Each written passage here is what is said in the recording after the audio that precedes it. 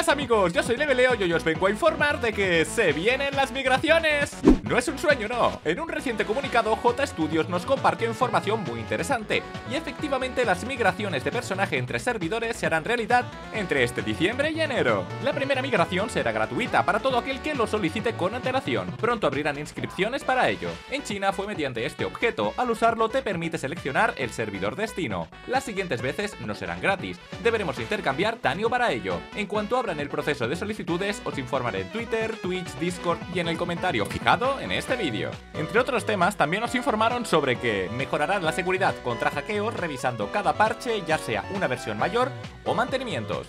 Y también han confirmado que sí están buscando crear personajes nacidos de nuevas colaboraciones con marcas. Y bueno amigos, al fin todo jugador podrá migrar a un servidor bien poblado en el que encontrar compañeros de armas. Por mi parte os invito a Dirwin, todo aquel que pida entrar en la tripulación Papu Army será bien recibido. Hacemos todo el contenido semanal y nos ayudamos sin dudar. Nos vemos todos los días en Twitch y suscribiros aquí en YouTube para más vídeos de Tower of Fantasy hechos con mucho cariño para vosotros. Ay, ya han pasado tres meses en este servidor desierto. No tenemos con quién jugar y nada que comer. Oye, Mía, ¿siempre has tenido cuerpo de hamburguesa?